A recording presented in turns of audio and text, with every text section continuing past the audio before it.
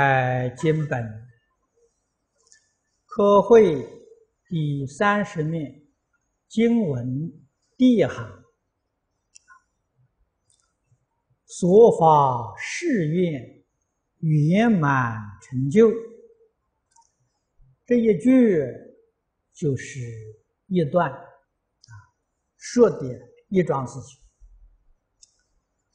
下面是如是安住具足庄严，为得广大清净佛土。这是第四个小段，如舍严净。我们先看前面这一段啊，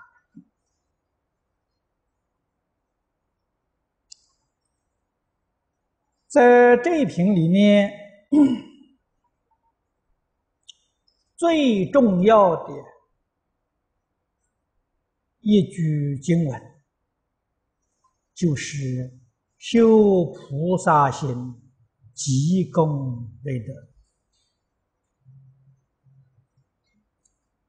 如果我们把这两句话疏忽了，不但愿望不能成就。而且在一切法里面，自自然然呢，遇到许许多多的障碍，啊，你怎么会得到自在？所以，我们学习这部经，啊，一定要能够像阿弥陀佛。一样的殊胜自在庄严，当然这不是一桩容易事情。那么圆满的如佛菩萨不容易，少分是可以得到。少分究竟是多少？那就随个人呢。修学功夫而论的，你下的功夫深，你得的成就就大；啊，你用的功夫少，当然你得到的也少。今天我们看到这句经文：“说法誓愿圆满成就。”这是阿弥陀佛说的，他在前面所发的四十八愿，愿愿都圆满了，真正是佛事门中有求必应单单这一点。我们就不能够轻易疏忽，一定要认真的去体会、去思维。啊，为什么我们在这个世间发的愿，那个愿很小啊，祈求很小啊，都不能满愿？佛法这个愿呢，是空前的大愿。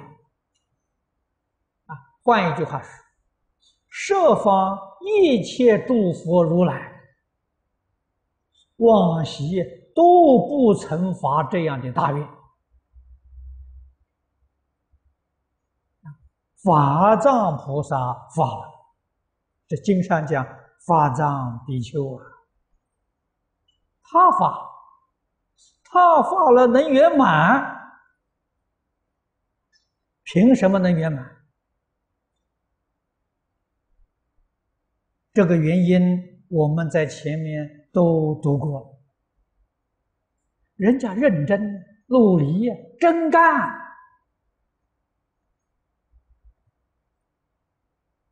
今天上午我们讲《十善业道经》讲圆满，这部经文最后世尊给我们的开示、劝勉，我们读了，感触很深呐！啊，想想我们自己修行，不是从这一生开始。啊，无量寿经就给我们做了证明。我们修行过去生中啊，也是多生多劫。啊，我们这一生遇到佛法，心里面无限的欢喜，无比的兴奋。这种现象。就证明我们过去生中啊修集的善根非常深厚。那么，要是照本经这个经文，我们还没有念到，世尊以阿舍王子这些。人呢，给我们做一个例子。这些人过去生中曾经供养四百亿佛，啊，到经文的时候我们会细数。听到释迦牟尼佛讲《无量寿经》，啊，他们发愿。希望自己将来成佛，也能像阿弥陀佛一样。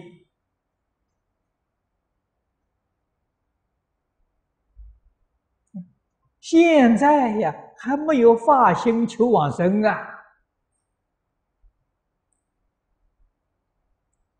从这个地方，我们就明白，我们接触到佛法。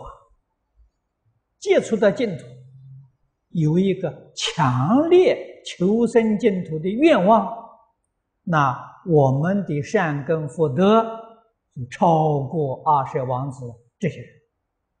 啊，那么换一句话说，过去生中物质供养四百亿佛，超过了。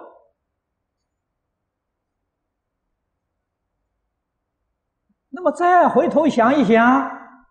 过去生中这样殊胜的善根福德因缘，今天落到这个样子，悲哀不悲哀？为什么会落到这个样子呢？我们有没有认真的去想想过呢？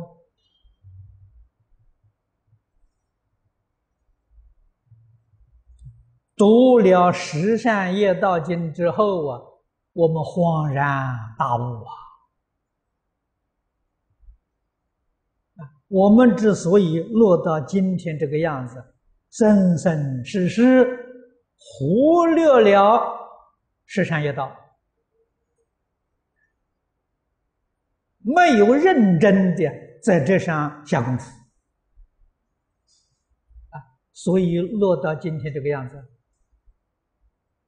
这一生当中，假如再疏忽这个问题，还是因循苟且。啊，不能脚踏实地，这一生依旧空过啊，这是肯定的。往年我做学生，在台中亲近。李老师，老师常说：“一万个念佛人，真正能往生净土的，不过是两个、三个而已。真正肯念佛、发心求生净土，都是过去生中积功累德了，善根深厚。为什么？”这一生遇到净宗法门，啊，一心念佛，天天到念佛堂，常常参加佛七，还是不能往生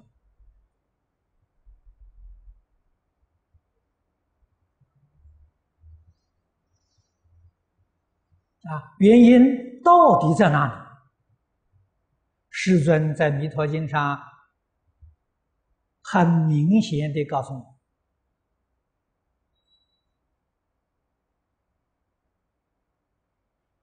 不可以少善根福德因缘得生彼国。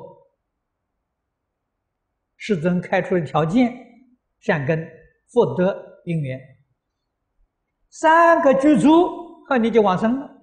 我们生生世世啊，这三个都不能具足啊，这一生当中还是不能具足啊。善根这一条我们有了啊，福德没有。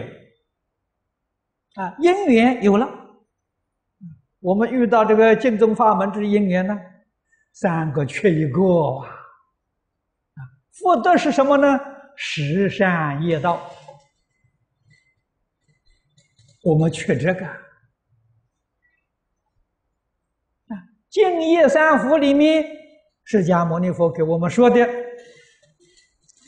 你看净业三福福德了。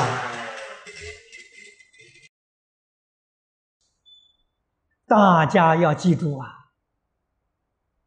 啊，三个福通通具足啊，那就恭喜你，你这一生呢，决定往生净土，不但往生净土，你往生十报庄严土。啊，为什么呢？三福具足啊，我们每一个人通通有善根呐。今天参加这个法会呀，因缘具足啊。就是少福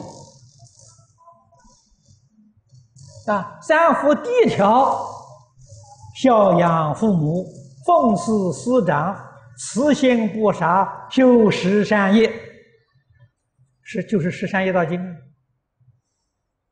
你只要有这四条，有这个福，你就肯定往生，生西方世界凡圣同居土。啊，这是三福里头你有一条啊。如果你有两条，啊，你再加上受持三规、具足众戒、不犯为仪，啊，这个你做到了，你落实了，啊，你求愿往生呢，决定生，方便有余土。啊，如果再具足第三条，啊，大乘佛，发菩提心，深信因果，读诵大乘劝进行者，那你就肯定生十十报庄严土啊！这个事情《弥陀经》上讲的那么清楚啊！我记得我在多年之前，台湾有一个居士蓝杰富，啊，他是个大学教授，啊，我认识他很早，他在学校念书的时候我就认识他，曾经参加过我们慈光佛学讲座，啊，有一次他遇到我就问我这个问题，他说法师他说：“往生净土为什么这么难呢？”我就把这一段经文告诉他。啊，《弥陀经》上不可以少善根福德因缘，我就跟他说：三个条件通通具足才能往生的，少一条都不行啊！如顶至三足啊，少一个腿就站不住。他想了一想，说了一句话：“真难。”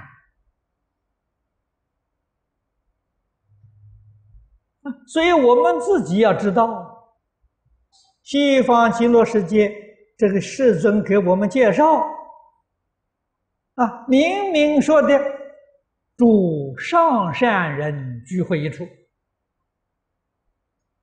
那想一想，我们是不是善人？上善不敢当了，善人我们都不是嘛。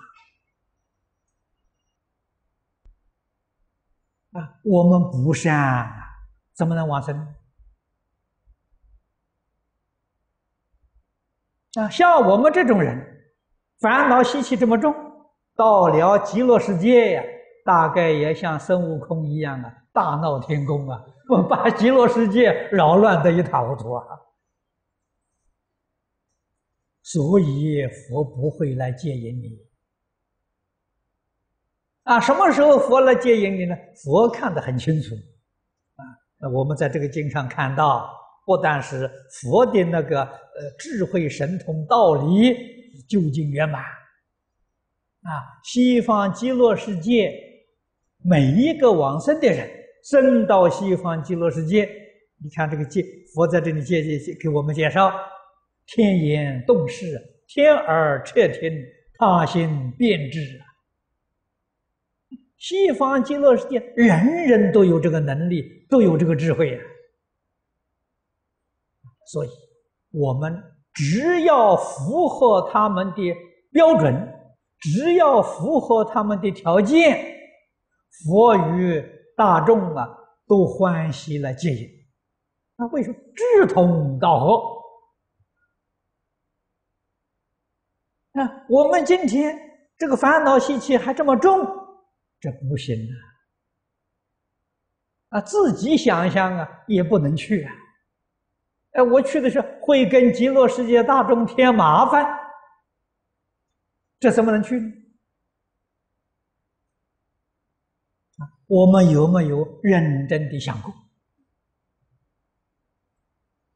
啊，因此孝养父母、奉事师长、慈心不杀、修十善业这一条，不能不讲求。不能不认真的修啊！啊，敬业三福三条是一句，过去我曾经做过专题讲演，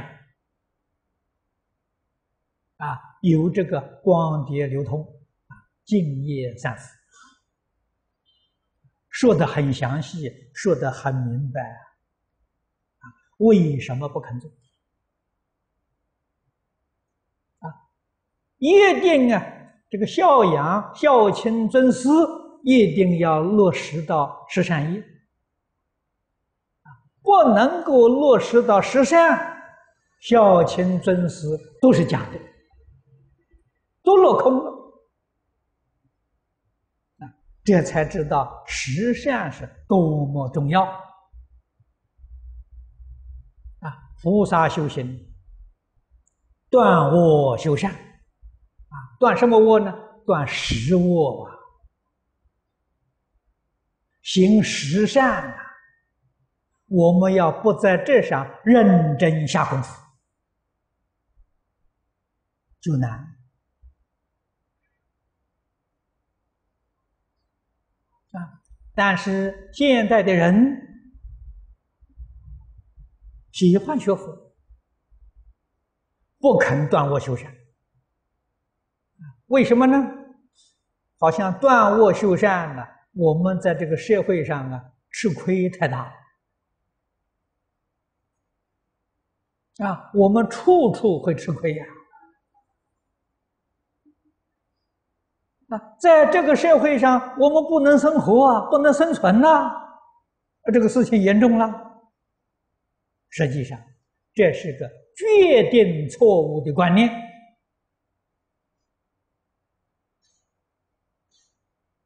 啊你不妨试试看啊！不妄语，对一切人，我们都讲老实话，都不妄语，看你能不能活得下去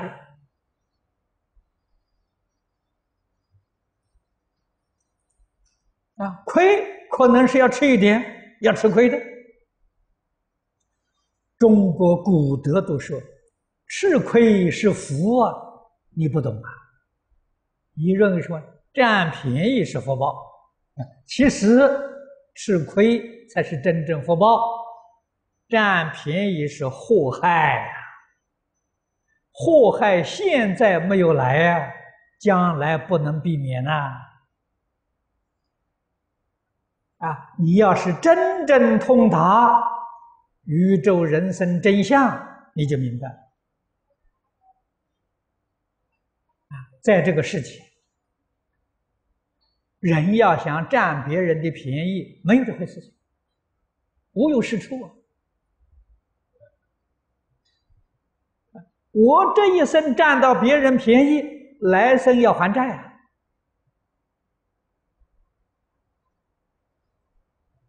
啊，我这一生吃了亏呀，来生有补偿！然后才知道天道原来是如此的公平呐！啊，所以我学佛。三十年之后啊，才明白这个道理，知道世间决定没有占便宜的事情，决定没有吃亏的事情，所以就得大自在。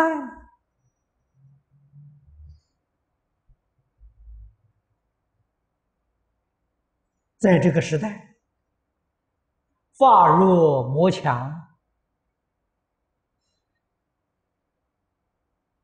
讲经说法的人少了。啊，没有人出来讲经了。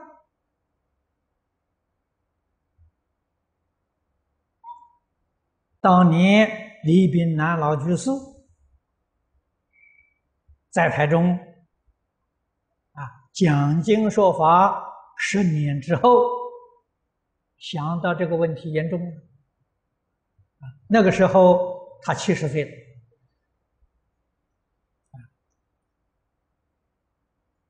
古人常讲啊，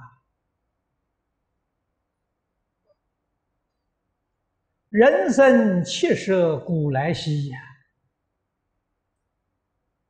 李老师就准备后事了。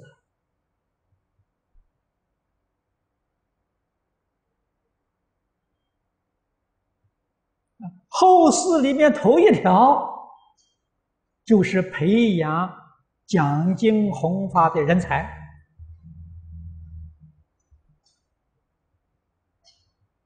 到哪里去找学生呢？在听众当中，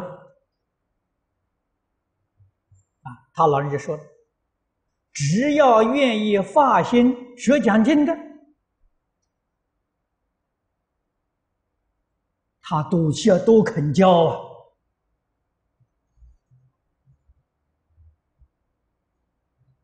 确实有一些呢有天分的人。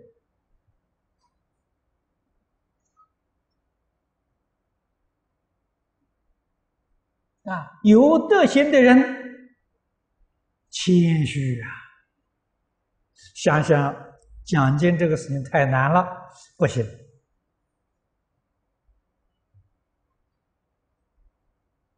啊，哎，难得有一些，天不怕地不怕的人。那这些人是是哪些人呢？教育水平很低。啊，有一些小学还没有毕业，啊，年岁也很大，啊，差不多都是三四十岁的人啊，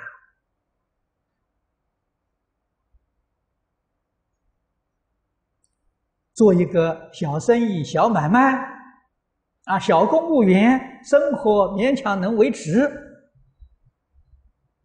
他们发了心，啊，跟李老师学习。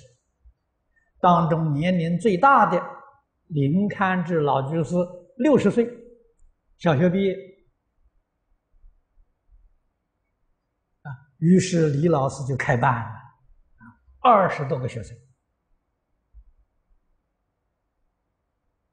啊。这些人了不起呀！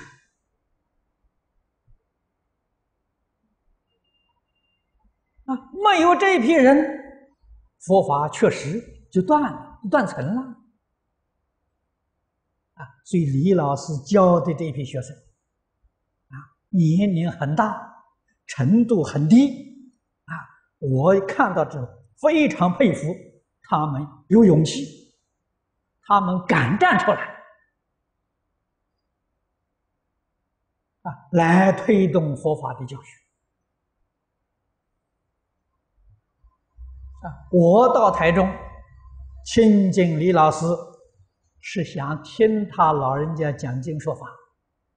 啊，他问我要不要参加培训班，啊，那叫经学班呢？我不敢，我想想我没有这个能力呀。啊，讲经这个事情太难了，那怎么敢发心啊？哎，他给我说，哎。你去到我们班上啊，去看看，啊，我们上课你可以来参观一下。他那个班上课是关门上课的，不准人看。啊，为什么呢？老师有打有骂。你说三四十岁了，还有六十岁的人，老师打他骂他，那多难为情啊！啊，所以不可以呀，给人看到的。啊，上课的时候。外面都要派两个人巡回，在外面看到，外面那个往来的人不可以接近，那不可以站在那里看，站在那里听，不可以。哎，老师让我到班上去看，我看他们上了一堂课之后啊，我就跟老师说，我可以参加。呃，为什么呢？呃想想他们的程度不如我。啊，理解的能力呃也不见得比我高，啊，年龄都比我大。那我说行啊，我可以，我可以来试试，我就参加这个班了。那么我参加这个班，这个班上课才一个月，啊，上课一个月，而一个月当中啊，李老师这个班是因为都是在家人，都是有职业的，啊。不是来专修的，一个星期上一堂课，三个小时，就总共啊，我算起来，我只少上了五堂课吧。我从第六堂课加入的。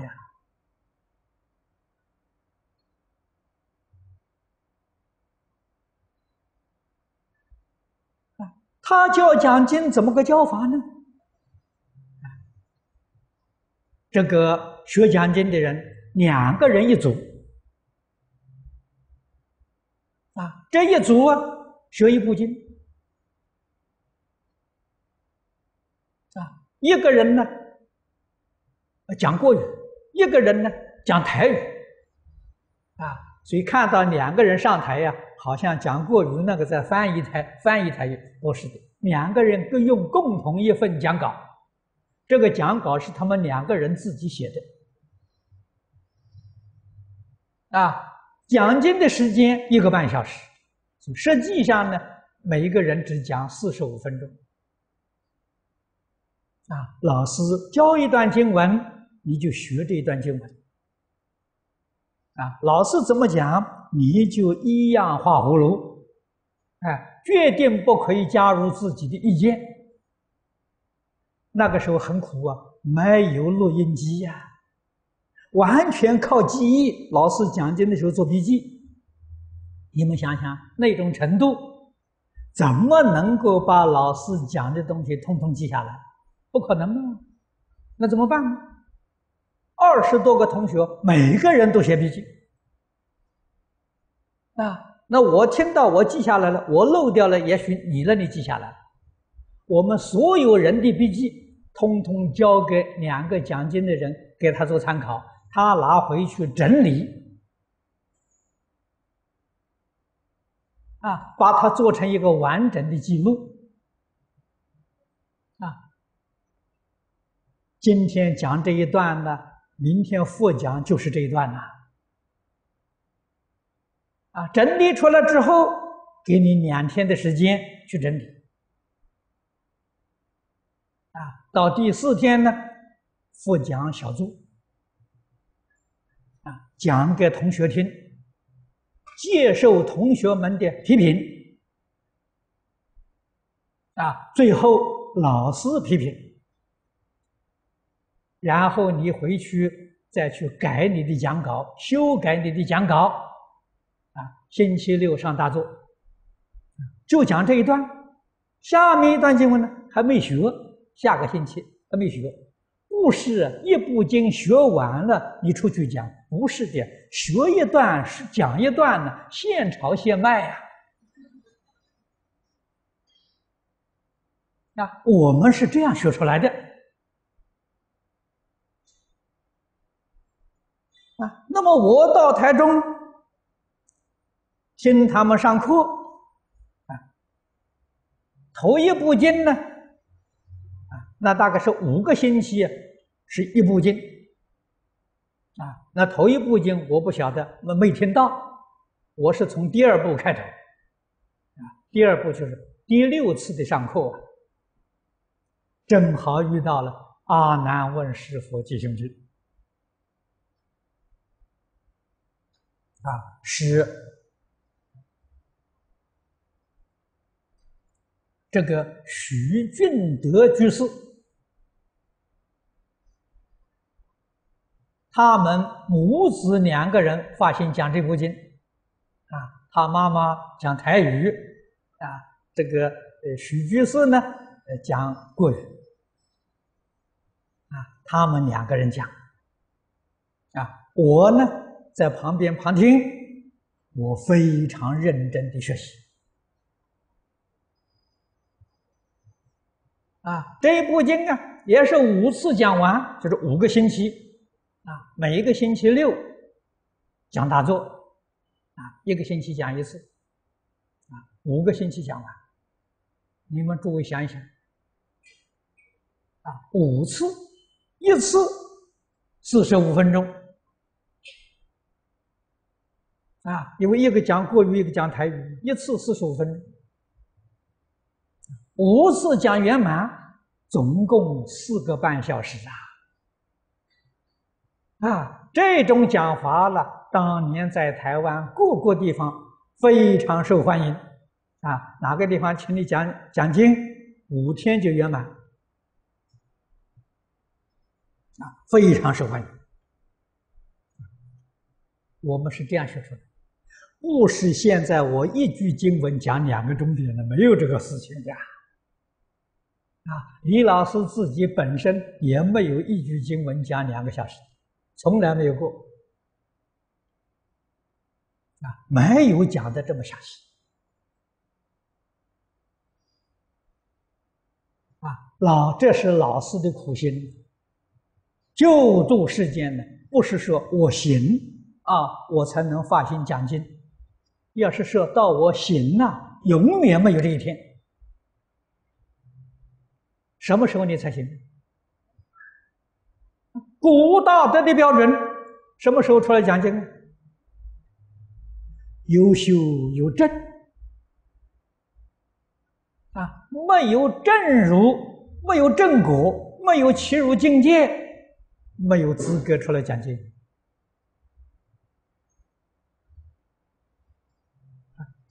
不可以给经做注解，然后我们才晓得，中国古来的这些高僧大德，都是正果的圣人，不是凡人啊！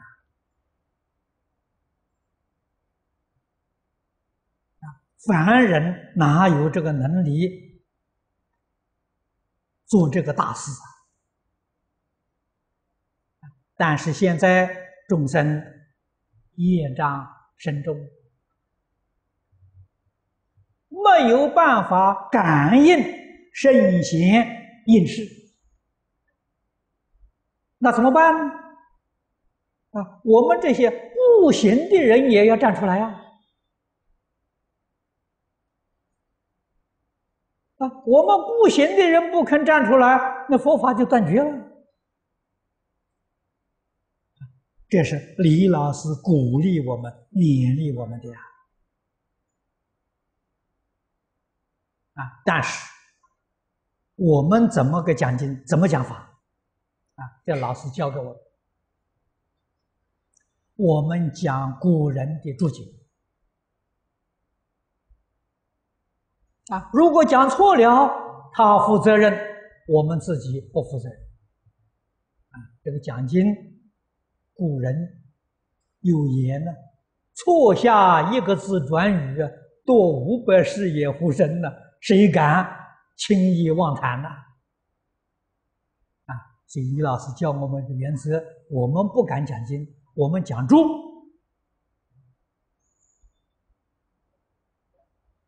啊，古人的注解，有的时候我们也看不懂，也看不懂，但是已经容易懂。你能看出几分，你就讲几分；我能看出一分，我就讲一分；我能看出两分，我就讲两分。啊，决定不可以加入自己的意思去妄谈，这个不可以。啊父子教学也守这个原则：知之为知之，不知为不知，是知也。所以我们学习讲经呢，就学习李老师。啊，那我们讲错了，他负责任，我们不负责任！啊，我在那个地方学习，老师非常欢喜。啊，我虽然根基很差，啊，我没有念过古书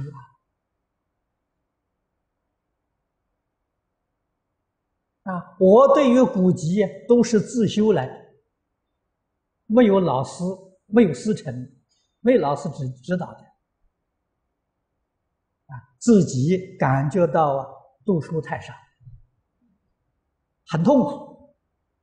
啊，所以很喜欢读书，自己找书来看啊，有疑难的呢啊，向别人请教啊，我肯主动的找人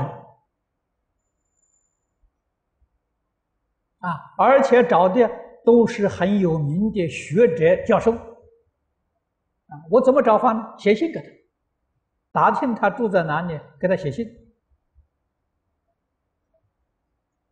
啊，向他求教，真正的好老师，不怕你程度差，只要你有学习的热忱，他都欢喜教导你。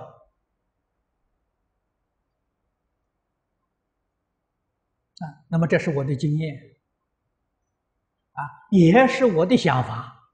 我常常想，如果我是一个好老师，有一个这样热忱的人来找我，我一定会帮助他。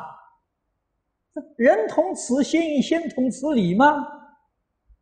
那我就凭这个想法、观点的时候，我找了十几个教授，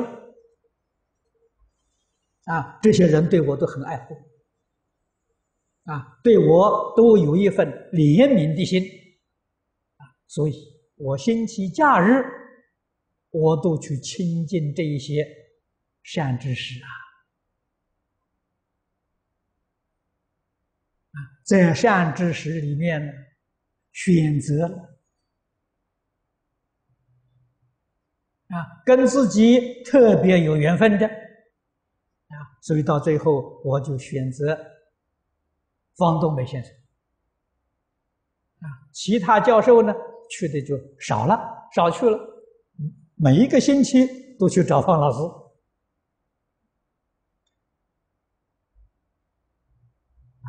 老师非常热心，每一个星期天他用两个小时来给我上课。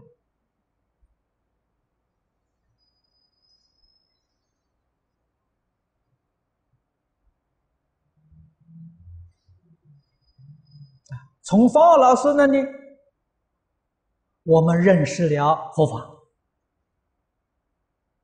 啊，我跟他学哲学，他给我讲了一部《哲学概论》，最后一个单元讲到佛经哲学，他对于佛教经典推崇备至。他说佛经是世界上所有哲学里面最好的哲学概论。啊，最完备的哲学典籍，这才是世间哲学的最高峰啊！然后告诉我。学修学佛法了，是人生最高的享受。我被他这些话打动了，所以到寺庙里面去找佛经来看。佛经不容易看得懂啊，缘分殊胜啊！我看佛经不到一个月，啊，就有一位长者。是前清时代的亲王啊，闵梦金先生，他是蒙古人，介绍我认识张家大师所以我头三年这个佛法都是向大师请教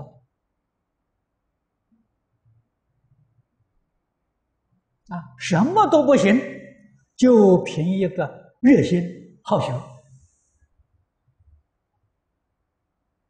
啊！我们有诚意，感动善知识，热心教诲啊！我跟张家大师三年了，一直到他老人家圆寂啊！他老人家圆寂之后，隔了一年，我亲近李炳南老居士啊，在他会下。一住就是十年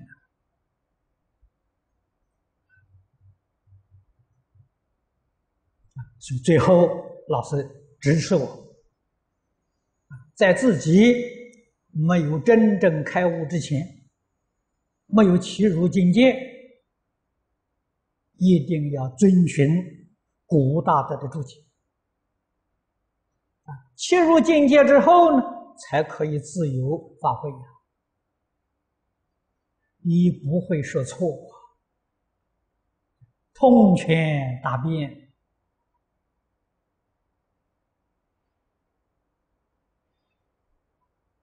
啊！如果要切入境界，你不能不真修啊！啊，从哪里修起？从十善业道修起。孝亲尊师，知恩报恩呐！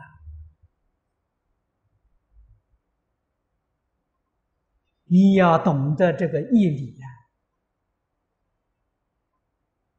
你要把这个义理落实，变成自己的思想，变成自己的行为。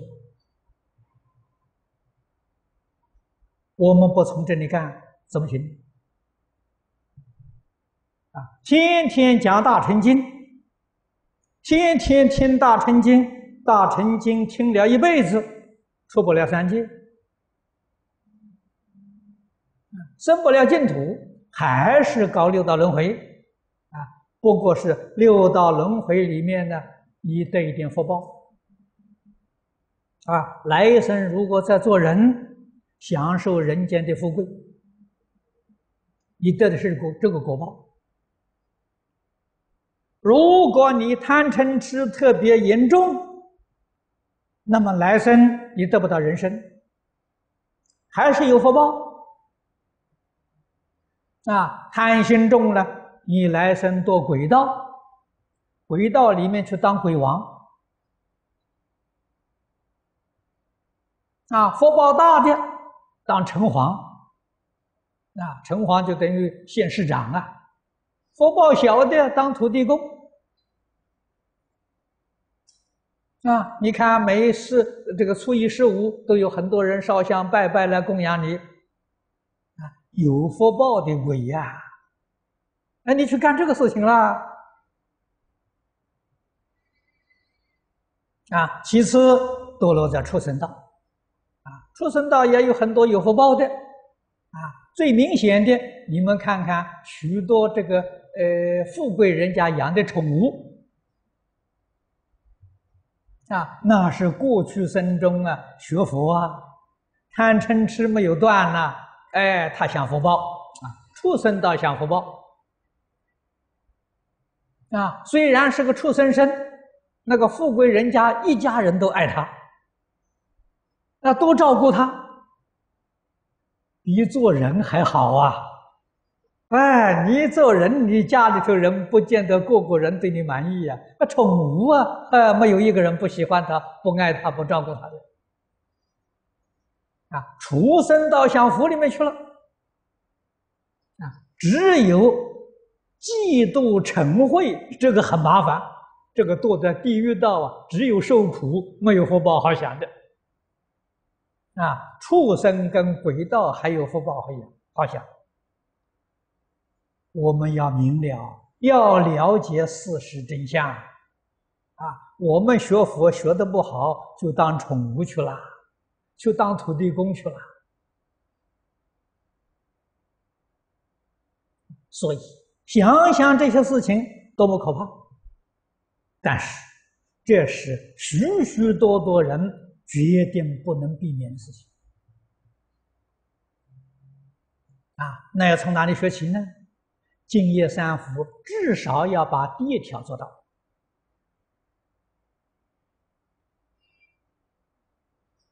啊！这个四句，第一条没有，再给诸位说啊，无论是在家出家，我们讲真话啊，不打妄语。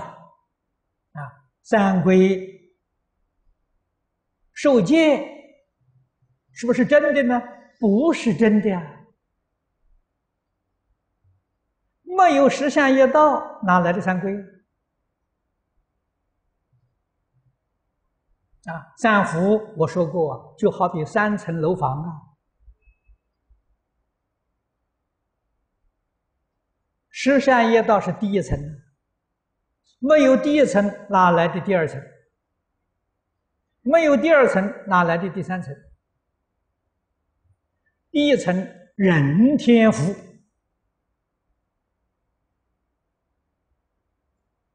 啊，第二层二乘福声闻缘觉，第三层是大乘福菩萨。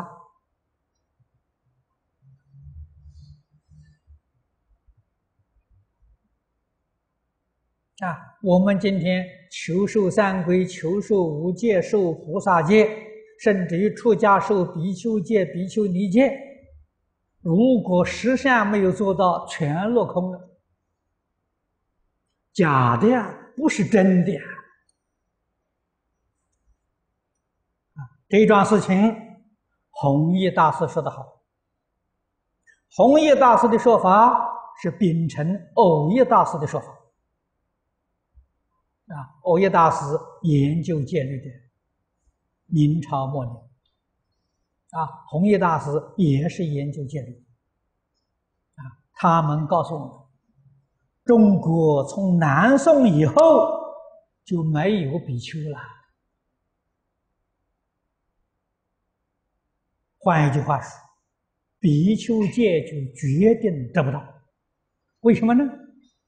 佛在戒经上说过。比丘戒最低限度要有五个比丘传授，你才能得戒。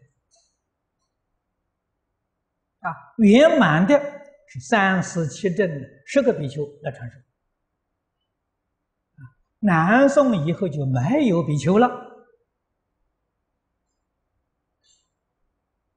所以这些祖师大德教导我们。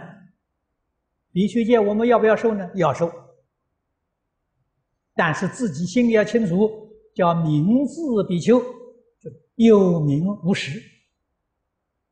为什么要受呢？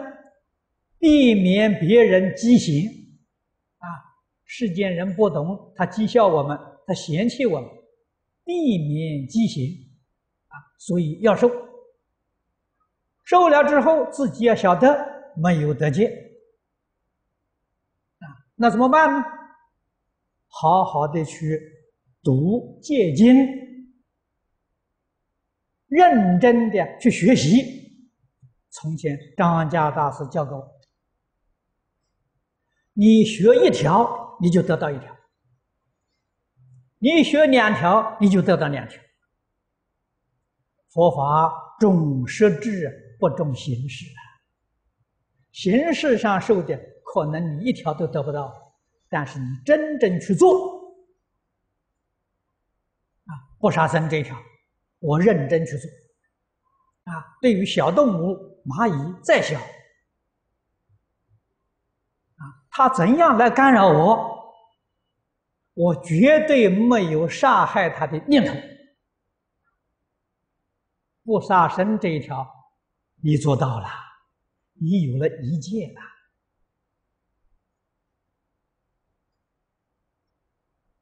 了。啊，对一个小动物都如此，对一切众生，对一切人、一切动物，都要有这个心呐。不但不能有杀害的心啊，这个众生。因我而生烦恼，我就有过失。我要避免啊，不能叫别人因我而生烦恼啊。他不喜欢我，我一看到他，赶快躲避，走得远远的啊，不要让他生烦恼。这是菩萨。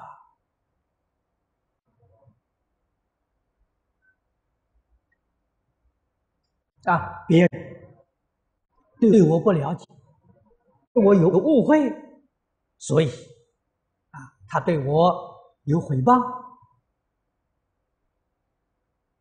啊，有侮辱，啊，有轻慢，有陷害，我们还是以真诚至善的心对他。啊，这是持不杀生戒。不杀生的戒，消极是不杀了，积极是修善，是积功累德。啊，这才叫真功夫。啊，如果这个人对我不好，我心里对他也不高兴，错了。啊，那这样子就变成什么呢？冤冤相报，没完没了啊！造成你在修学过程当中许许多多的障碍。我们讲业障太重，业障业障是你自己造的，你造作一切不善啊！以不善的心、不善的言语、不善的行为。对待一切人事物，业障是这么来的。所以，没有学佛之前，不懂啊，不懂这个道理，不了解事实真相，造的太多太多。今天学了佛了，明白这个道理，啊，晓得事实真相了，彻底痛改前非。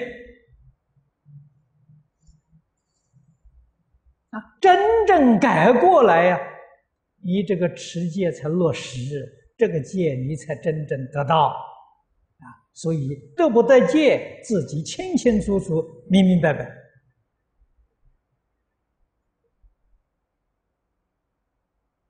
啊！每一条戒要细讲，讲一年也讲不完啊！别说两个钟点。啊，总要能够举一反三，闻一知十，啊，我们才能受持，才能真正学到东西。啊，最重要的原则要与人为善，与物为善，物里头包括动物，包括植物。啊都要有一个真诚的爱心、清净的爱心、平等的爱心，这是佛法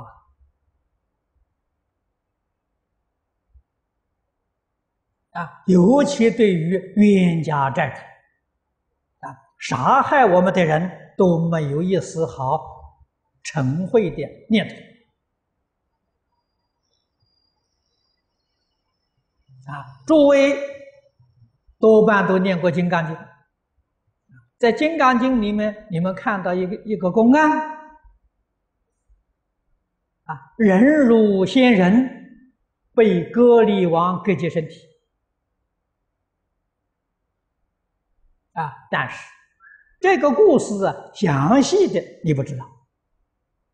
啊，详细呀，佛在《大涅盘经》里面讲的。啊，你读《大涅盘经》呢，你对这个故事就知道个底细。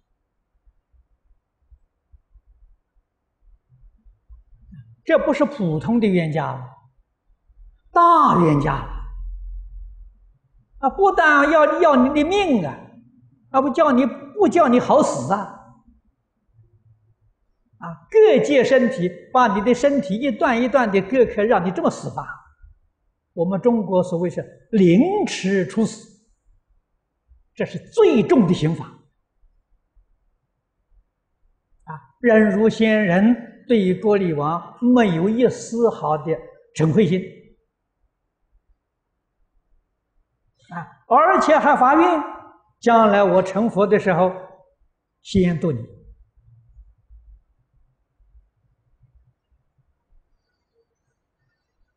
啊，佛在经上说了，那个时候的人如仙人，就是释迦牟尼佛的前身。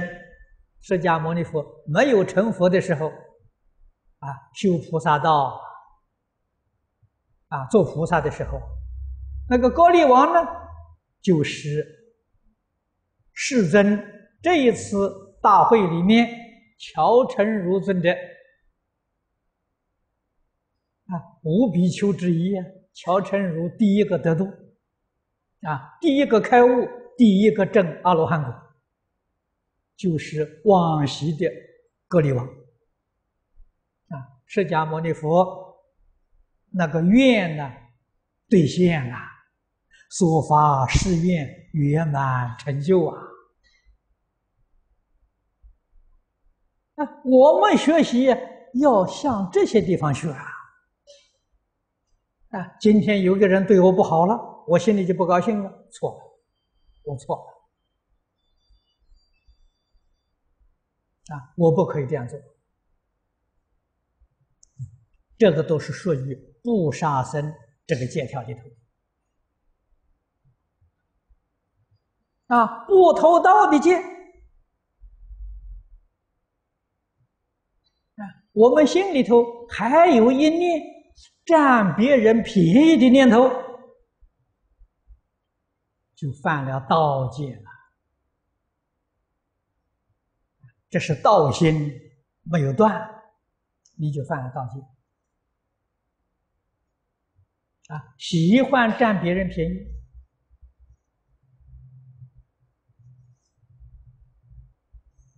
啊，特别是现代人。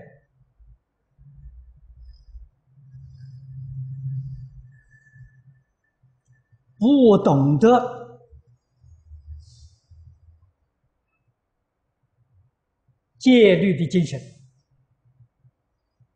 不懂得戒律里面的道理，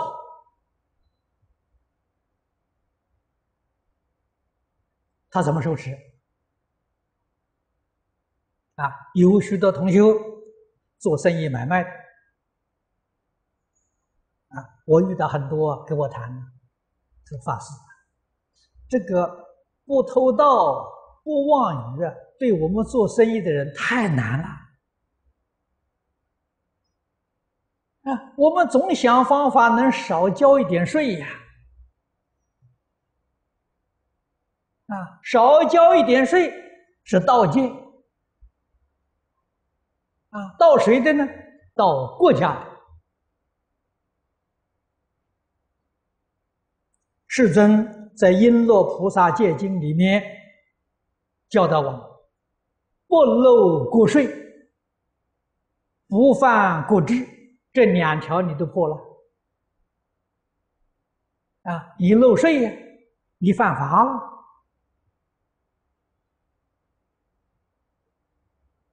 你就想这个问题多严重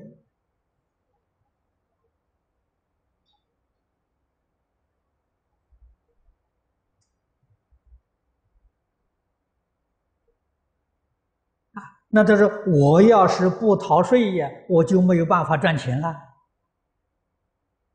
赚钱事小啊，死生事大了。啊，这是你漏税，你想种种方法。啊，这是是占了便宜，你赚了钱了，你来生多恶道。啊，来生给注射，转眼之间，快得很呐。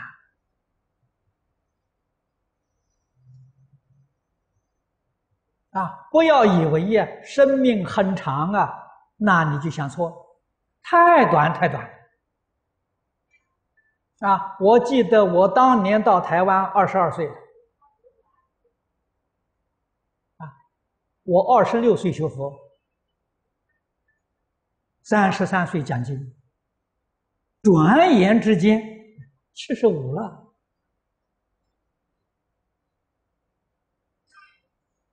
想一想当年那个情形，就像昨天一样啊，在一块同学的，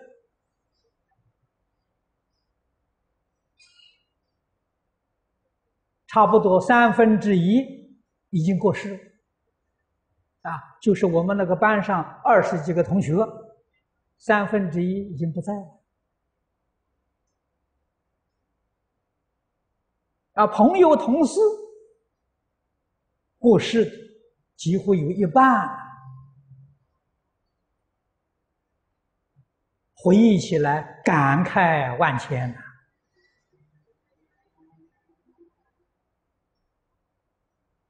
所以，印光大师常常勉励我们：啊，天天想到我就要死了，死了以后要度三途，怎么办？啊，我们许多同修在大户问题里头，我遇到勇猛心发不起来。精进心发不起来，问我怎么办？有什么方法能够让他勇猛精进？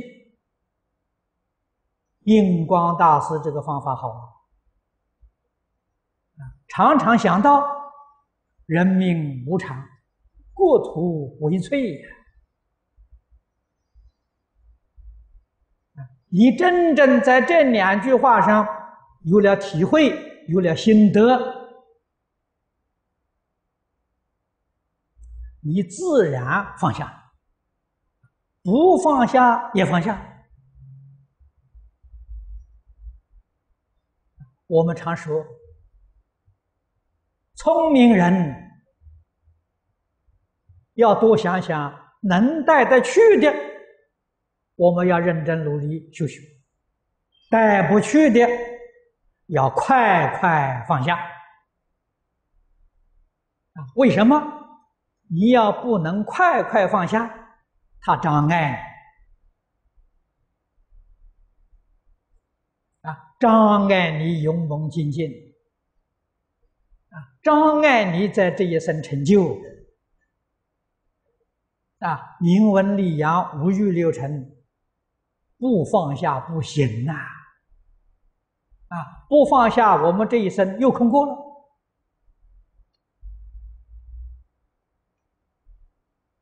啊，然后才知道放下才真正是福，真的福。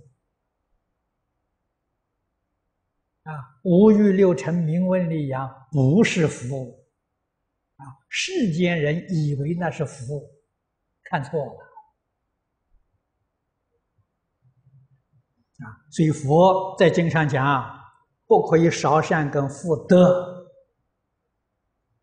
真正放下是福德，世间拥有荣华富贵、五欲六尘享受，他有福没有德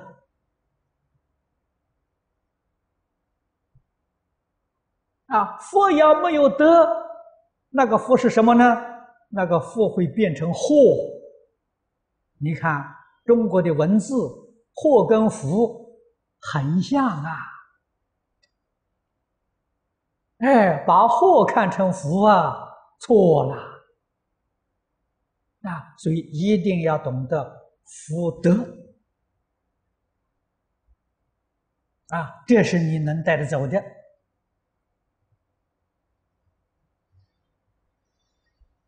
我们要真干啊！因此，做佛的弟子啊，我们现在很清楚，我们是明智弟子啊，有名无实，真法大心，哦，这个就很难得了，非常可贵啊！真法大心说，我要自度度他。啊，我不行，我懂得一句，我讲一句；我懂得两句，我讲两句。欢喜帮助人，肯帮助人，发源就殊胜了，你就能得诸佛护念、龙天善神拥护。啊！如果老师我不行，我还没有学好，我不敢教人。啊，不错，是谦虚，是值得赞叹、值得尊敬，但是你的损失不小。损失在哪呢？得不到诸佛护念，得不到龙天善神拥护。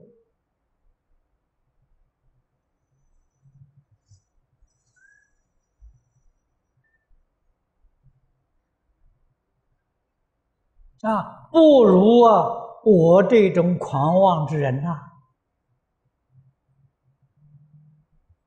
啊我敢呐！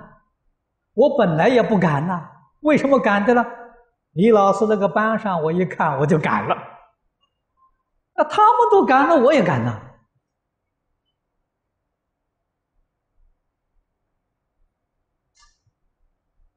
啊，李老师那个方法，把佛法了。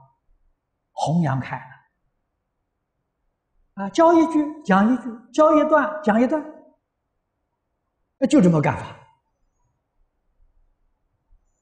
啊！只要我把这个经义没有讲错啊，经文没有念错，没有念颠倒啊，就敢干啊！我这样一干，干了四十多年了。我在讲台上讲经，今年是第四十二年，啊，还能有这么一点成就，真正得利于佛菩萨加持，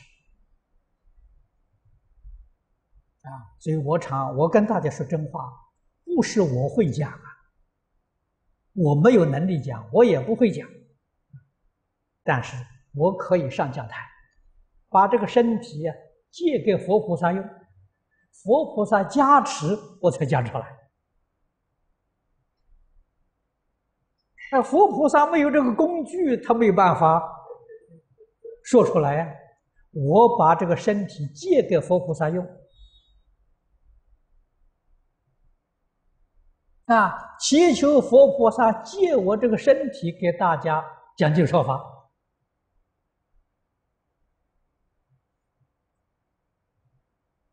啊，我这样干了几十年，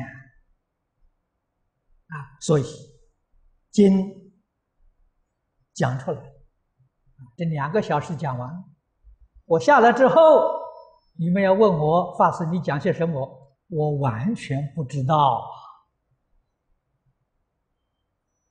啊，我不晓得。你们听了这个法师讲的不错，我自己不知道我讲些什么。啊，好在现在有录音录像，打开来看看，哎，我才知道我在刚才在做些什么。没有这些，我是一无所知啊，一句都记不得。啊，实在讲呢，也不需要记呀，记这东西干什么？记一句阿弥陀佛就好。啊，记住起心动念、言语造作，不离十善就好。只要记这个就行，其他的都用不着放在心上。那用不着记忆，所以以我们这种身份、能力，只有这个办法。所以前几天，我还有个老同学，也是李老师的传人，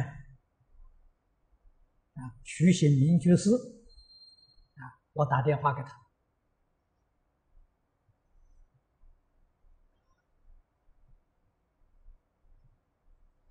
啊，他对我这些年来，啊，在全世界弘扬净土的成就，也很赞叹。我告诉他，我这一生只得列李老师两句话：终身奉行。决定没有改变啊！老师的两句话，第一句至诚感通，第二句叫我一门深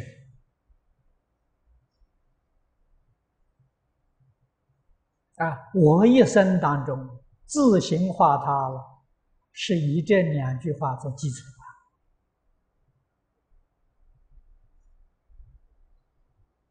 但是，真正要培养下一代的人才，我是希望下一代人才要从扎根做起，啊，一定要超过我很多倍，啊，他才能够肩负起弘法利生的使命，啊，在德行。在学问都要超越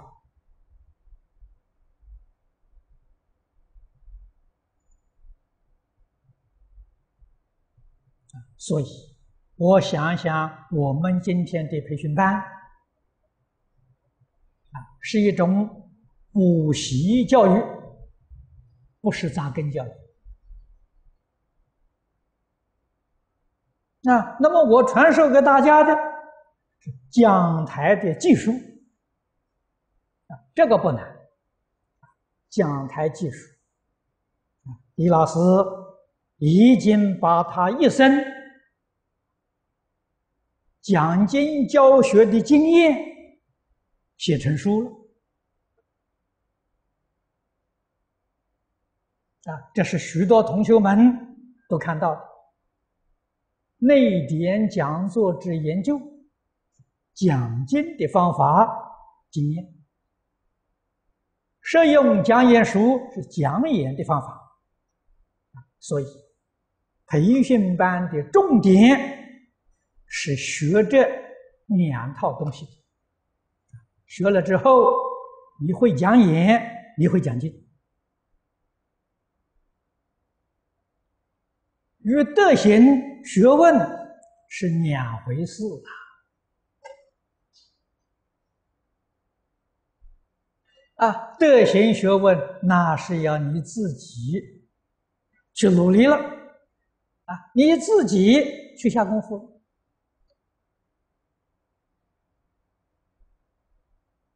可是我们想想，我们的确一代不如一代。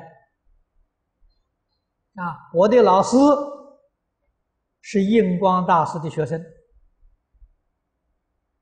啊。李老师不如印光大师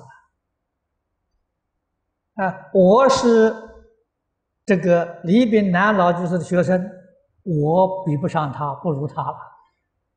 这一代不如一代，那，这样下去，我传我传给你们，你们将来不如我，这不得了啊！啊，这个地方我们看出佛法危机。非常严峻啊！那怎么办呢？我必须要想办法了，希望底下这一代的时候超过我，啊，我才对得起祖师大德，啊，才对得起父母师长啊。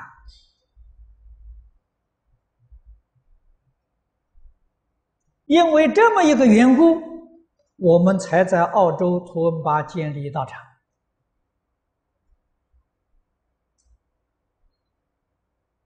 啊，这一些年轻出家人到那边去了，干什么呢？扎根。啊，他们在那里求学，我常常打电话去问呐，问学习的进度啊，啊，学习的情绪啊，我要知道，从哪里扎根？幼稚园扎根呐？啊。今天我们培训班要教大家念幼稚园，你不甘心你不情愿呐，啊！但是在图文吧，你不甘心情愿，你就走路，啊！你要想跟我呢，从幼稚园念起，啊！虽然现在已经三四十岁了，从幼稚园念起，啊！念什么东西？念《弟子规》，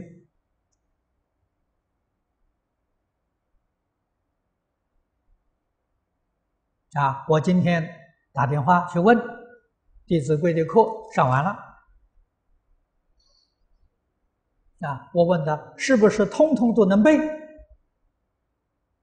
啊，几乎全部都可以背诵，天天要背，要背得很熟很熟，而且要落实。啊，杨老师告诉我，说现在大家这个呃言语风度啊都改变。啊，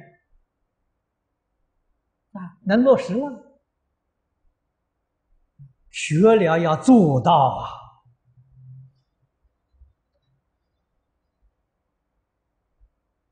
啊，明天呢要上《三字经》了，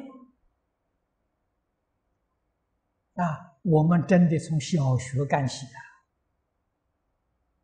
啊，大家过去没有念过，现在补习呀，啊，要求。啊，我的要求能背、能讲、能做到。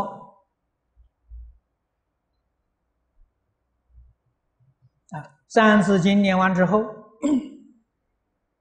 我要求他们念一百篇古文，啊，从《古文观止》里面选出来，扎根教。啊，明年。就可以学佛经了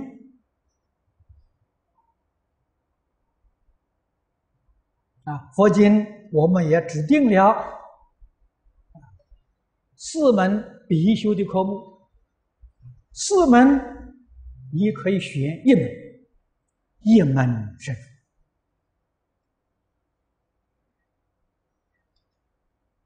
啊！每一个人所选的可以不一样。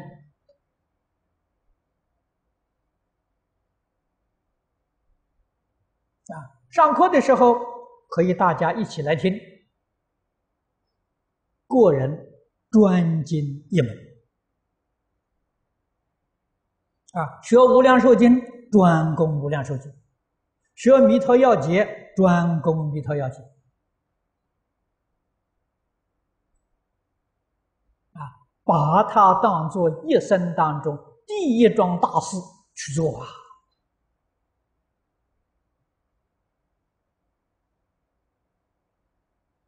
啊，这四门必须要读，但是啊你要专攻一门，啊，专精一门，七门都要熟，啊，你这一生的这个功夫啊，一生的精力啊，专攻一门，十年之后啊，你就是这一门的专家了，专攻无量寿经呢，那个时候。大家见了你面呢，或长啊，无量你你是专攻无量寿经，你就是无量寿佛啊；你专攻弥陀经，你就是阿弥陀佛啊；啊，你专攻普门品，你就是观世音菩萨。专精一门至诚感通。啊，这一门里面，你开悟，你起入境界了，你门门都通了。啊，不但佛法你门门通了，世间法也通了。世出世间法，你入了无障碍的法界，这才叫修学的捷径。你要不懂这个道理，一样一样去学，学上四百年，一部经都通不了。所以佛法跟中国古人的教学，他们一套理论、一套方法，确确实实是现代学术界望尘莫及。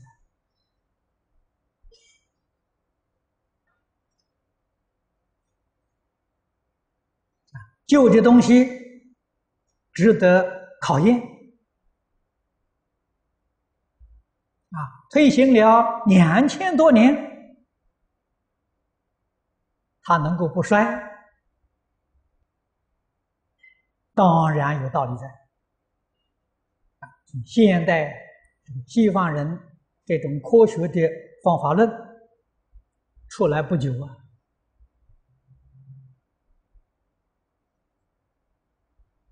提出来还不到三百年呢。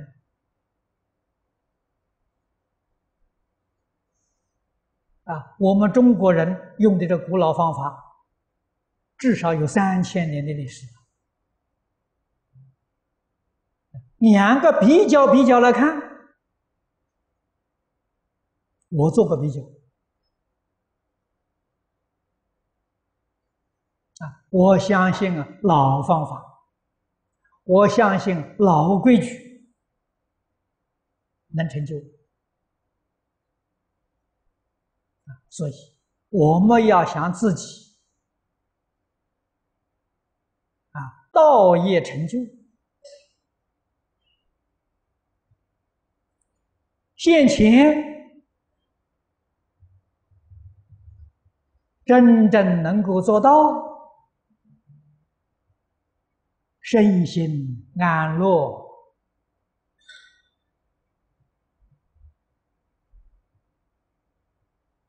远离恶法，清净善法，长生欢喜心。不认真修学，怎么能成就？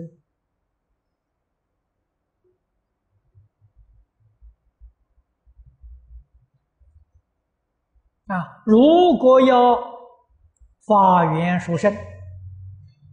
要得到诸佛菩萨加持，一定要热心帮助人。啊，我不行，我这个不行的也能帮助人。啊，为什么呢？我要不帮助，没有别人帮助了吗？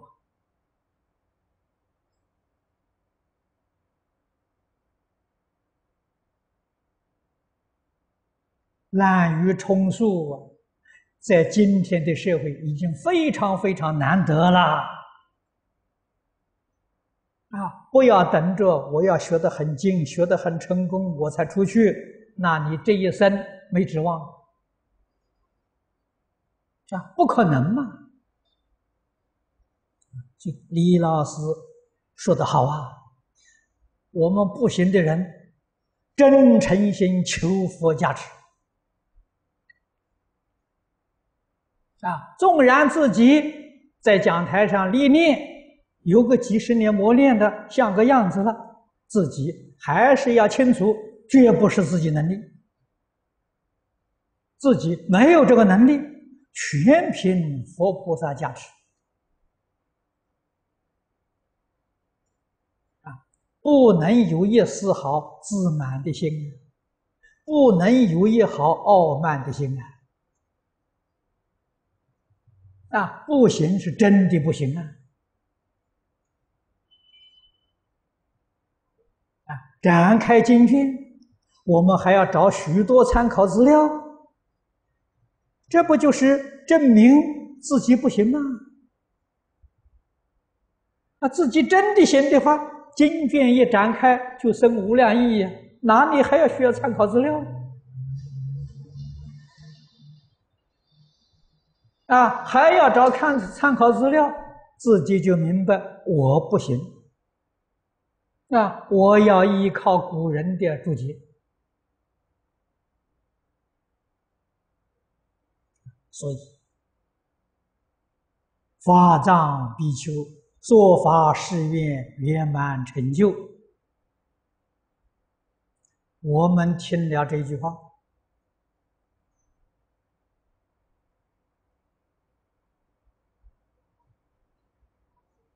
应该做出什么样的反应？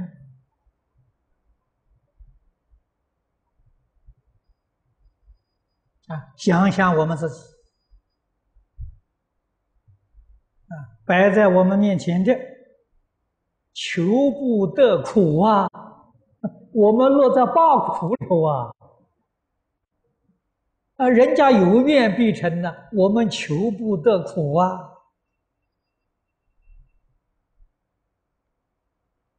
这是两种迥然不同的果报果必有因，所以我们应当着眼在因行上啊，所以要多想想，多反省啊，多检点，多观察我们今天做的些什么。法藏比丘他做的是是些什么？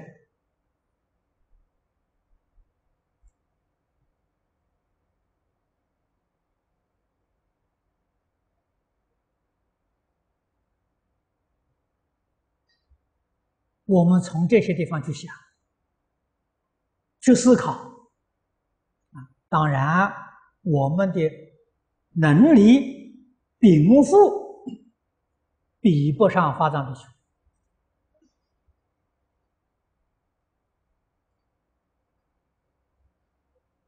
法藏比丘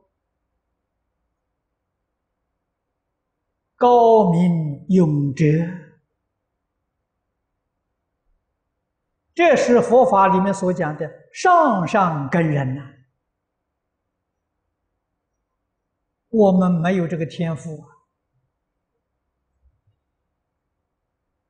啊，虽没有这个天赋，我们要想方法弥补，啊，弥补真诚好学，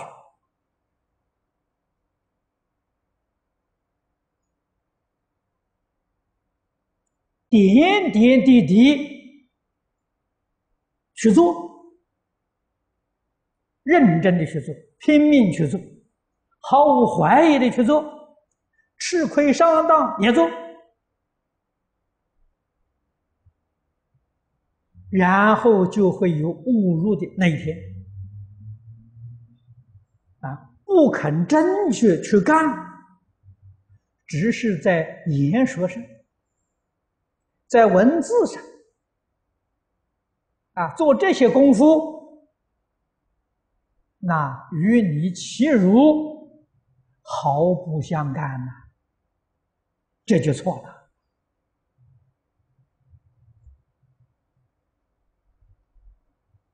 啊！这个十善业，不杀生，不偷盗，啊，不淫欲，在家居士是从不邪淫着手，啊，最后也要到不淫欲，你才能圆满功德。啊，不妄语，不两舌，两舌是挑拨是非呀。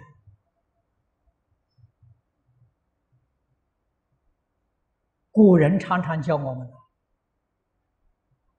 静坐常思己过，闲谈莫论人非呀。古人这两句话。使我们想象，从前社会上这种情形大概也不少啊。哎，聊天呢都讲是非，啊，都讲别人的是非长短。啊，现在这个社会啊，更不必说了。这是过失，损自己的德行。啊，这不是积德了，损自己的德行啊！别人纵然有过失，与我有什么相干？不但不能谈论，最好啊，不要把它放在心上。啊，把它放在心上，我们的心就被污染了。这个实在是非常冤枉，啊，非常愚痴啊！听到了不放在心上，行吗！啊，你要以为不行，你去问问许哲居士，啊，他今年一百零二岁了，啊，他行，我们为什么不行？啊，他能做得到，我们为什么做不到？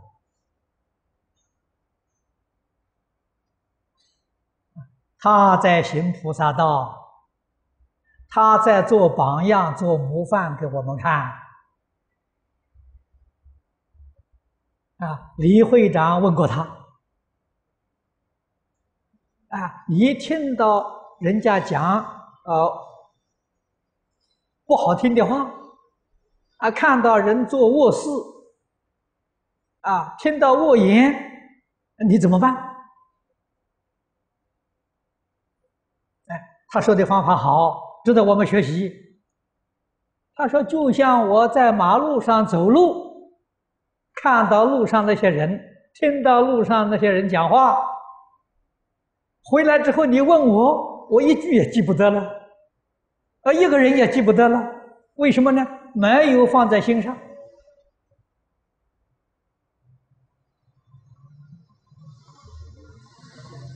所以他的心清净。他不是没有接触啊，他每一天到外面去工作，在路上看到很多人事人与事，听到很多人呢这个讲闲话了，啊，他做到了视而不见，听而不闻。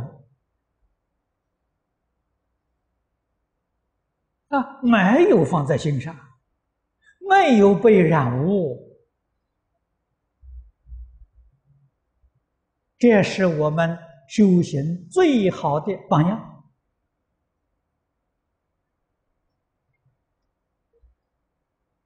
我们不能不学习，我们要不学，这一生就不能往生。就出不了轮回啊！所以我们在讲习当中常常提醒同修：轮回心学佛还是造轮回业啊！轮回业里面的善业啊，这个善有多大？不一定，完全看你的用心。如果你还有自私自利，还有是非人我，还有贪嗔痴慢，你得的福很小啊！为什么呢？讲经说法，口善而已呀，心不善呢，行不善啊！所以你修的善不大了。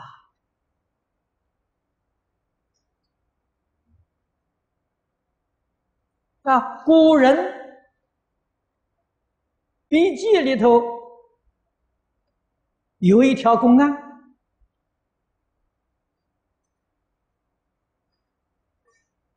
很值得我们警惕。啊，他说有一位法师一生呢诵《法华经》，送的非常虔诚，啊，死了以后还算不错，来生还得了个人身，但是是个女生，啊，法师啊投了个女生呢，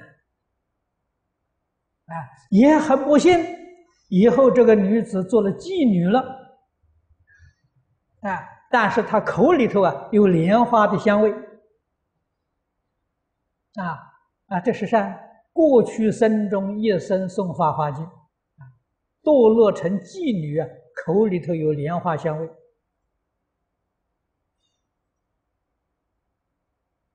值得我们警惕呀！啊，我们纵然在台上讲经说法，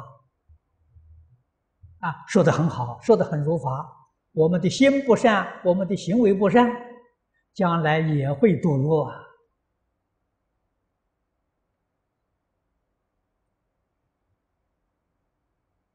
啊，因为这一生讲经，可能是你堕落的来生呢。哎，你的言语聪明，啊，可能你会懂得很多国家的语言。你这一生修的是这这个果报吗？说不定也堕妓女身啊，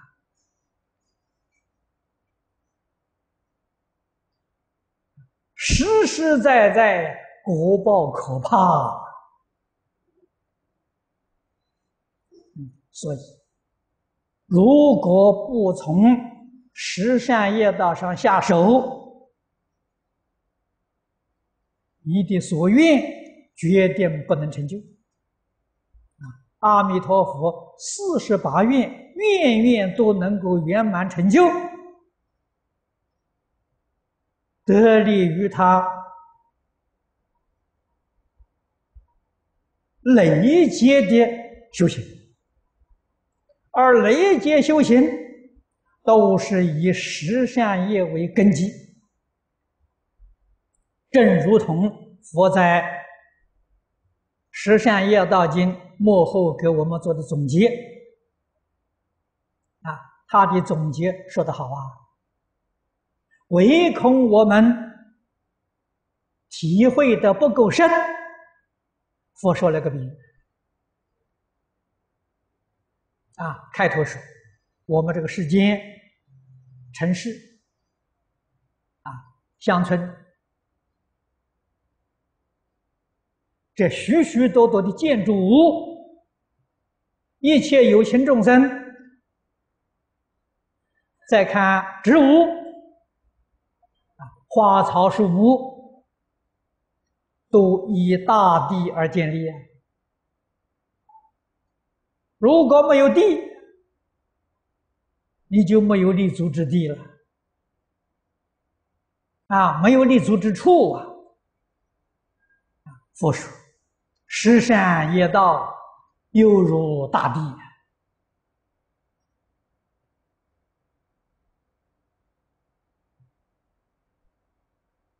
人天善法。”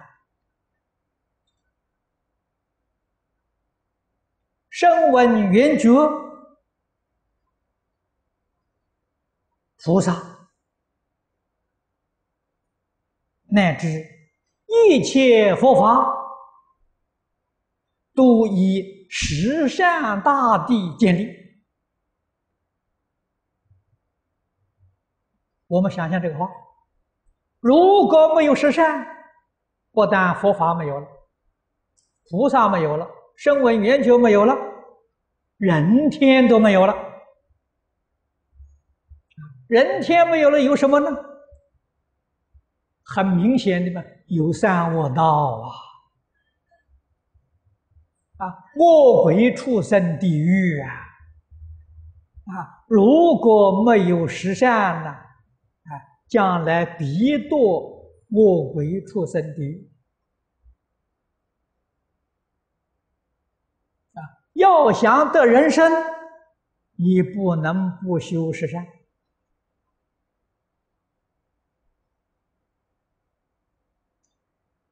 断十恶修十善，你才能得人生。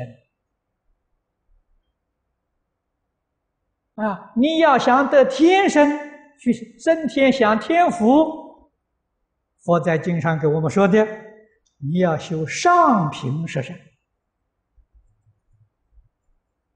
啊，这个断卧修善的每一个人功夫不一样啊，所以成绩当然也不相等啊。佛把这个修行也分作三倍九品啊，啊，上上的断卧修善，中上的。断我修善啊，中中的断我修善，下下的断我修善啊，这个我都不必细讲了。这里头有九品呢啊，如果我们修的是上三品，也能够升天呢，享天福啊。中三品呢是人道啊，下三品啊落在修罗道里去。啊，罗刹修罗下三品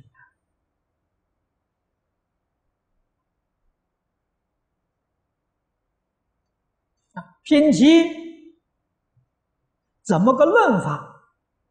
怎么个算法？这里头很微细，不是几句话了能说得清楚。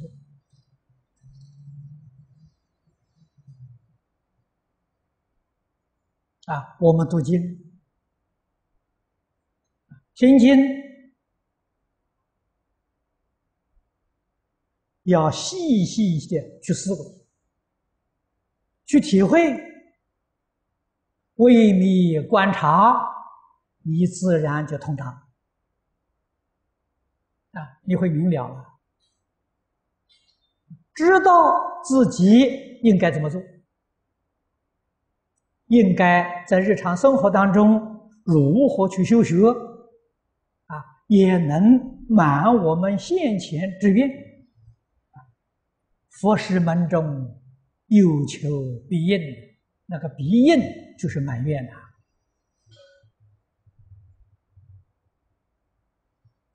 如果诸位肯学、恳求，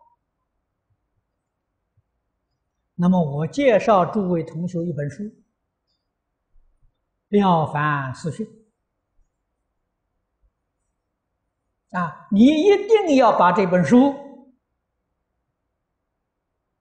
一口气不间断的去念三百遍。啊，不是叫你呀展开这个书啊，就不分昼夜，也不吃饭，也不睡觉，去念三百遍。你把我的话就错错会了。一天念一遍，一年就念满三百六十遍，天天要念。你有这一年的功夫，然后在你一生当中，保证你起心动念。言语造作都落在善念上，你功夫深呐，功夫不深不行啊！啊，如果有有能力，就是你有环境有这个条件，一天念两遍更好。一念的遍数越多越好。古人所说的“读书千遍，其义自见”。啊，我们一般人讲啊，无师自通了。啊，无师他为什么会通呢？熟透了，熟透了，跟心性起感应道教的作用了。啊，怕的是你不熟。啊，古德教人一门深入，大有道理在。啊，有同学曾经问过我。法师一门深入，要深到什么程度？这个这个话问的好啊！要深入到明心见性，这是标准啊！这个是大乘佛法的标准啊！跟诸位说，任何一部经论都可以帮助你明心见性，所以佛在《般若经》上才说：“法门平等，无有高下。”为什么呢？任何一部经典嘛，我不管大部小部，啊，大部像《大放光佛华严经》，啊，小部像大家天天念的《般若心经》，啊，两百六十个字，不分长短，啊，只要你能一门深入，都能够明心见性，见性就成佛了。见性就是宗门里面所讲的大彻大悟，教下所说的大开圆解，啊，净土宗里面讲的理业心不乱。所以，我们如果执着我这个法门好，那个法门不好，啊，我这个经典好，你的那个经典不好，这个有罪过啊，这个观念是决定错误啊。啊，这是妄想分别执着，长道，长什么道？长我们开悟之道，啊，长我们正果之道，啊，长我们求愿成就圆满之道，啊，所以这是错误。明白人、通达的人晓得。啊，然后你对于所有这个宗这个经教所有的法门，一心平等。啊，我们所修的法门不一样，所依据的经典不一样，我见到一定非常恭敬。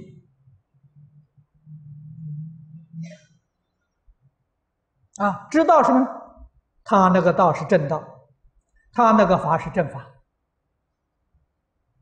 啊，只要他一生不改变，勇猛精进，他肯定成就。啊，说不定他的成就还在我之上，我怎么敢轻慢？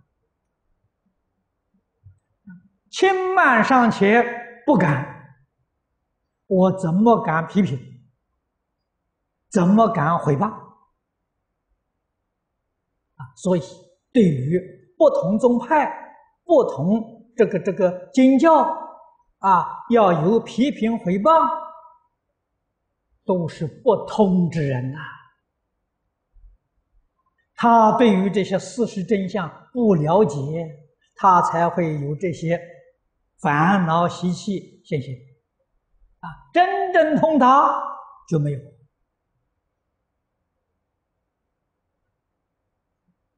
啊，那么由此可知，清净真善之时重要啊！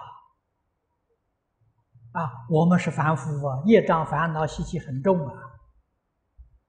啊，我们在没有这个这个这个清净好老师的时候，也批评啊，也回谤人家，也干这个事情啊。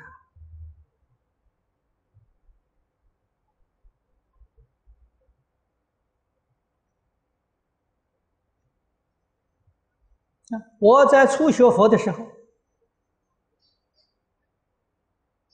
啊，接触佛法没多久。那个时候，台湾，基督教跟佛教有严重的矛盾，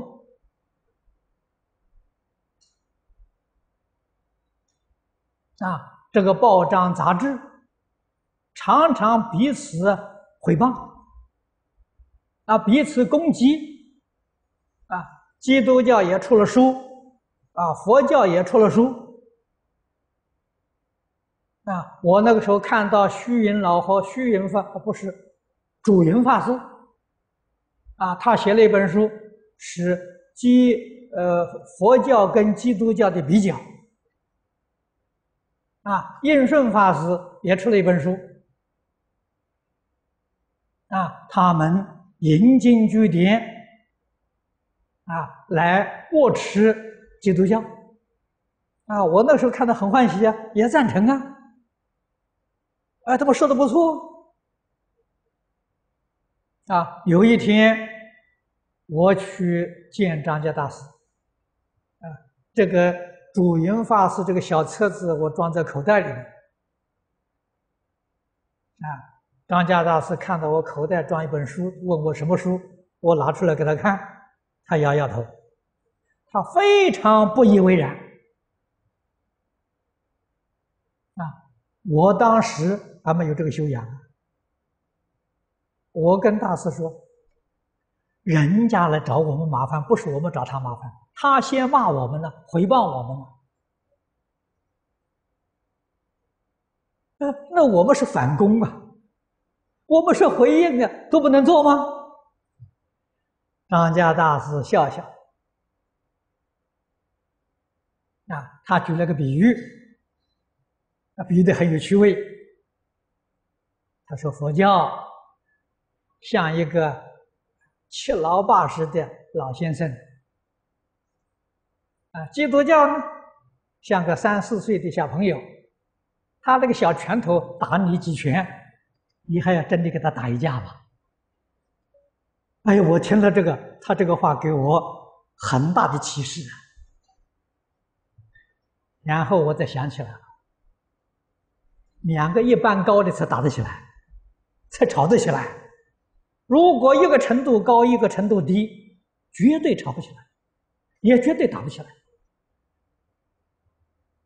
啊，所以我就联想到我在念小学的时候，啊，跟同学打架，啊，为什么事情忘掉了？不知道了。但是老师把我们两个人抓去都罚跪，两个人跪在一起。明明我有理，他没有理，应该他跪，为什么也罚我跪？所以张家大师的一句点醒，我我我豁然明白了。两个一般大，一起罚跪对一点，啊，不管有理没有理呀，你们两个是一样的，啊，如果真的一个高一个低，吵不起来也打不起来，为什么呢？对方打你，你会让啊，对方骂你，你不还口啊，就没事啊，就熄掉了，啊，对方骂你一句，你顶一句。你们两个人一般大，一一起处分，很有道理。所以大师一句话点醒，使我想起小学那个时候被老师惩罚，啊，才明白有道理。啊，老师做的很对，啊，但是老师那个时候没有说没有说明这个道理给我们听，啊，只是我们受了惩罚。啊所以，读经听经要细细去想这个道理，啊，想通了，想明白了，一定要落实，啊，落实在自己生活，落实在自己工作，落实在自己处事待人接物，啊，那么你就会有求必应，啊，你也会像。法藏比丘一样，说法誓愿圆满成就。好，今天时间到了，我们就讲到此。